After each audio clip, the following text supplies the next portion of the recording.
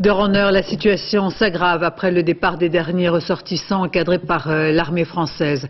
Le ministre de la Défense ivoirienne annonce une offensive générale. Quant aux rebelles, ils continuent leur avancée. La ligne de front est extrêmement mouvante et un sentiment anti-français commence à s'installer chez les mutins.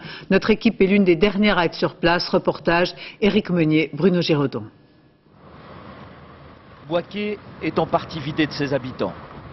La plupart des familles ont fui, craignant une contre-offensive gouvernementale annoncée d'Abidjan par la radio et la télévision nationale, les seuls médias qui peuvent encore être captés ici depuis plusieurs jours. Seul le centre-ville est un peu animé. De petites manifestations plus ou moins spontanées sont censées montrer devant la caméra le soutien populaire aux mutins. Aux sorties de la ville, les insurgés veillent à 60 km au sud, sur la route de Yamoussoukro, à Tibissou, de violents accrochages avec les forces loyalistes ont fait plusieurs blessés dans leur rang ces deux derniers jours. Ce qui ne semble pas ébranler leur détermination, ni l'annonce hier d'un soutien logistique français à l'armée loyaliste. En fait, on ne sait pas, vous les Français, vous nous avez toujours effrayés, on ne sait pas, vous êtes toujours à gauche, à droite, au milieu, on ne sait pas où les Français sont justes. Hmm. Voilà. Donc, euh, on est là, on est là, on est serein, imperturbable.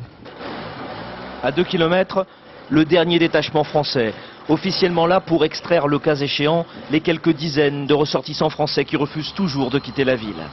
Mais une position française qui interdit de fait la route de l'Est aux mutins si ceux-ci voulaient lancer une opération pour prendre à revers l'armée loyaliste. Sur le plan militaire, une sorte de statu quo semble s'établir sur le terrain. Un statu quo qui devrait permettre aux gouvernementaux de se réorganiser, de se réarmer, qui pourrait laisser la place aussi aux discussions politiques